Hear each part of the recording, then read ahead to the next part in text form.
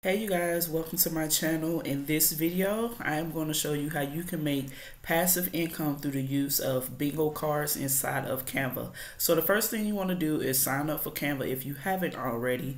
I have the pro version, which is $12.99 a month, but you can stick with the free version if you wish.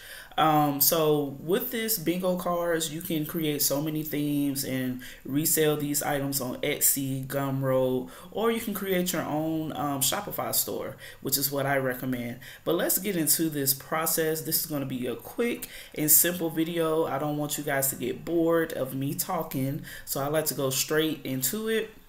So the first thing you want to do is um, go inside of Canva. Doesn't really matter the size. Um, I normally stick with 8.5 by 11 for my size, but it's totally up to you what you decide to do and what works best for your bingo cards. So when you come in here, it's going to look like this. It's going to be blank. And what you want to do, the trick is if you scroll down to the left hand side where it says apps, you want to click on this and type in bingo cards. You want to click this first option right here. And now here you have it. Now they already have some options um, according to whatever theme that you want to do. You see they have countries, Harry Potter, Christmas, Halloween, uh, football, and songs. So we're just going to take one for example. Let's go with countries. And it's going to give you the words according to your theme. Okay. So we're going to scroll down the grid size, the typical bingo cards are 5 by 5 so we're going to go with that.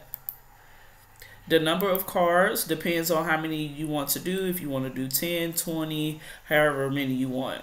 And then the font size or the font types, you just choose whatever fonts that you like. Let's go with Bradley Hand. Let's see. Okay. And then you want to keep this on draw grid lines so the lines show up on the bingo card. And after you complete those things, you want to click create bingo cards.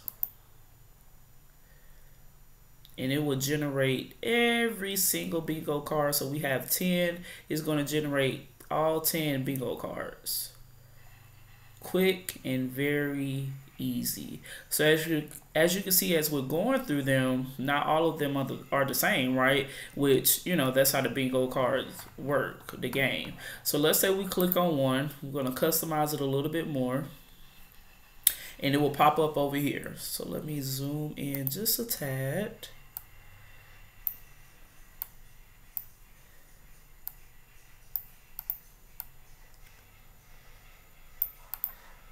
Okay. So you can do something like this. And then if you want to make the words at the top, we're going to go back to the left hand side and go to text. Go to add a heading. And then we're going to type out our bingo letters. So we're going to put this up here. Then I'm just going to duplicate this. I'm going to put our I duplicate again for our N. And then we're just going to duplicate those two. Put our G, put our O, okay? And of course you can make this more fancier if you wish, you know, since we're dealing with countries, we can go over here to elements,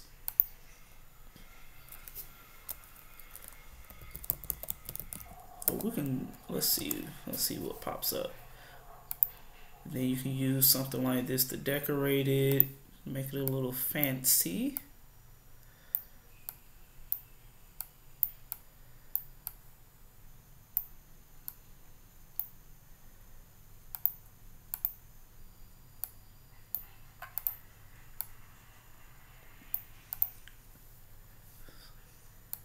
So let me highlight well, let me do this. I'm going to do this. Let's see. Highlight this, and we're going to group this. We'll make this smaller. That way we have some room. And so what I'm going to do, I'm going to put a frame around this. So I'm going to get a square.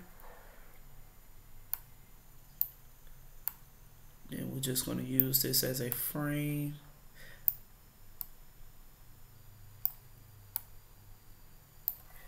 We're to make this white. Tap these lines, border style, put a border around there. And then in order for this to show,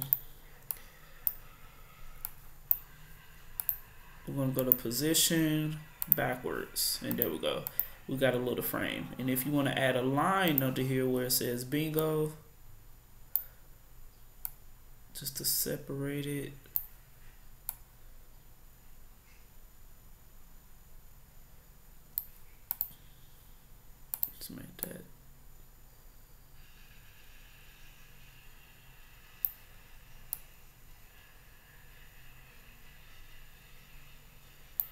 Okay, so something like that. If you want to make your lines a little deeper in here, you can do that. And you know, sometimes how we have the free space in the middle, you can just take you a little circle and put that right there. Let's change this to like a blue, make it a little vibrant. We're to take our same little, and then you can put that right there as a free space.